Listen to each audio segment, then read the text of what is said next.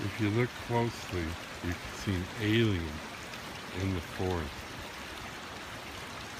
Dave, what are you doing?